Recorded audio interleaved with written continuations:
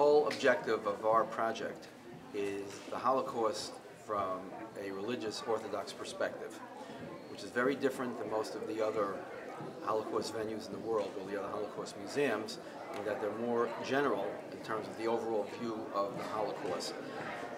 We look at, um, first of all, the history of European Jewry, um, how our communities, our kahillas, developed in Europe with, with a very rich, long history, um, the circumstances that led up to the war, the history of anti-Semitism.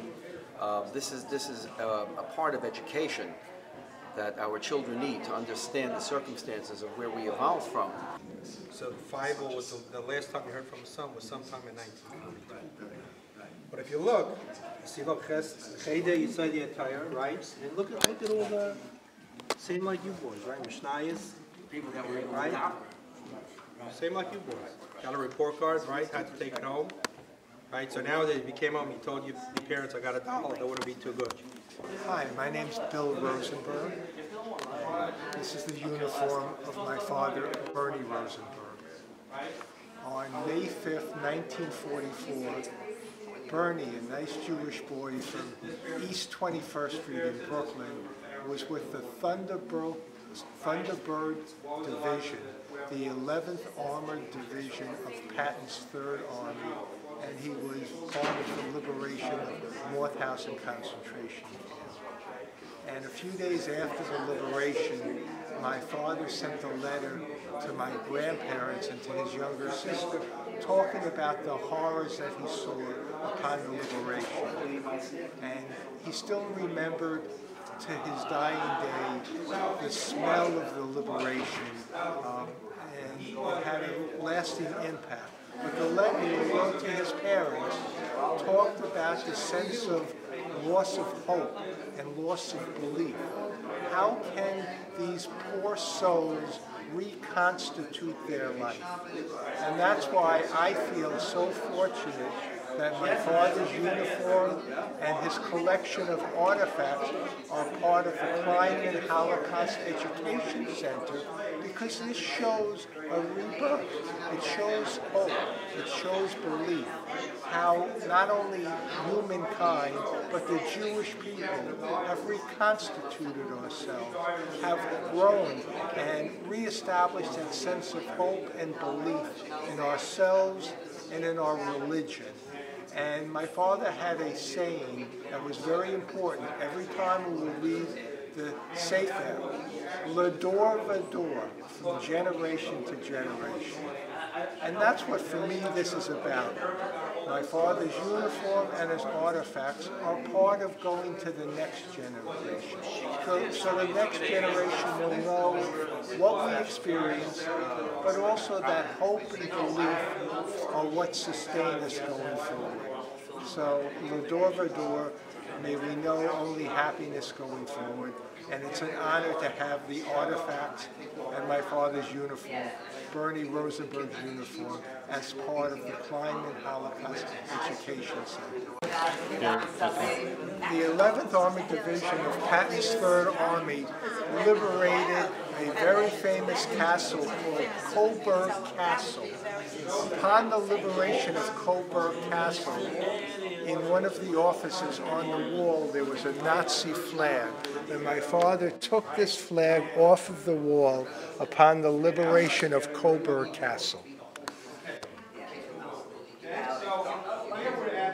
There are other cards that are not on display here were used as Nazi propaganda to indoctrinate the younger children in Germany um, about the evils of the Jewish people. And they depicted the Jewish people in the most horrendous circumstances. So they used these playing cards. They were like playing cards, like we used to have baseball cards. They had these kind of playing cards um, that was part of the propaganda machine. Or Eisenhower wanted documentation of what the troops found upon the liberation. So he ordered that a recreation of the moment of liberation take place. So if I have my historical facts correct, the liberation was actually on May 5th, and this picture was on May 6th. We shouldn't forget that there are people who experienced the Holocaust, who literally sacrificed everything to maintain their emunah, to maintain their faith in the Ribbono Shel Olam, and it's because of those sacrifices that you boys are able to be here today, and we're able to celebrate with Menachem putting on his tefillin in the presence of Mrs. Kleinman, the great grandmother of Menachem, and his grandfather of Eli Kleinman. That is what we should never forget. Our whole um, focus is to educate, to remember what happened not so long ago.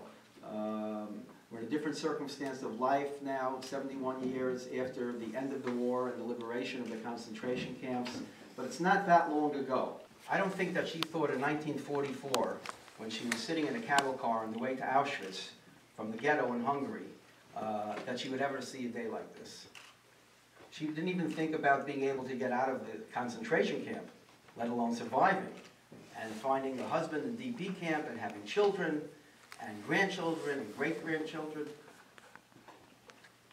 So, and great-great-grandchildren. I remember standing in Auschwitz uh, about a year and a half ago, which actually the first time that I went. And uh, my mother told me where she was in, in terms of the, her, her uh, bunker, her uh, barracks number, and I looked it up on the chart in Birkenau, and I saw the exact spot. It's no longer standing, it's level. Most of the barracks are level, but I saw the exact barracks that she was in. Uh, Rabbi Bolt from Darchei Torah is here representing Rabbi Bender. Uh, it's an extraordinary yeshiva that was the first to jump in to do things that are important, and they certainly did in terms of Holocaust education. And um, I, I want to thank Rabbi Bender publicly for what he's, what he's done and what he's accomplished and what he continues to accomplish. Weiß nicht, wer du bist, aber ich hab dich sehr lieb. We don't know who you are. We don't know who you are. But we all love you and we want to do whatever we can to keep that going. So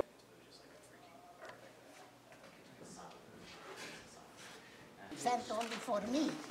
So when he sent papers for the parents, then uh, it, it came into the police station, yeah, and she could not go out. So she threw out of the window. This is what they told at the, at the, at the This, this cloth was found by Mrs. Felsenberg, um, who volunteers at this center. And uh, this is remarkable because it is a cloth that was rolled up like a cigarette paper and smuggled out of the ghetto, out of the Vittel, the detention camp in France. And my father wrote it, his name was Dr. Hillel Seidman, and he addressed it to Yaakov Rosenheim, and to Arthur Fink. Yaakov Rosenheim was the head of Aguda at the time in America, and Arthur Fink, also known as Anshel Fink, was his cousin in America. And it's very dramatic for me to be here today with my mother. Uh, I'm very honored to be here, but I want to just say that Arthur Fink's grandson is married to my daughter, and they just celebrated the bar mitzvah of their son Elazar this Shabbos. So it's interesting how everything pulls together so many years later. This is an, a, souvenir for when one would visit the Auschwitz Museum back in the 50s or whatever. They would be able to pick this up. It's pictures of the Auschwitz camp. People in the camps, you know, the prisoners, the, the Jews, wanted to, to show the Americans that they were. So they took whatever material they could find. They took some tin, whatever they could find, and made American flags to show the Americans how happy they were to see them. This is a collection done by a researcher in Texas, Bryan Riggs, who was studying Nazis who were actually Jewish, who you know didn't either didn't recognize they were being Jewish or didn't know they were Jewish, and had certain dispensation by Hitler to be able to be a Nazi. So you've got this box is interesting. For instance, have the passport here. of a Nazi soldier. And um, if you if you really want to get more information, I'd have to ask David to explain it to you more. But this is an example of a Nazi passport, Nazi documents. Father Patrick Desbois, his he is conducting research in the Ukraine and in East, deep Eastern Russia, and uncovering mass graves that were never accounted for. And it, these are primarily the Shtetelach that were being destroyed by the Einsatzgruppen. and he's called his his book uh, Holocaust by Bullets because the the rule was one bullet per Jew.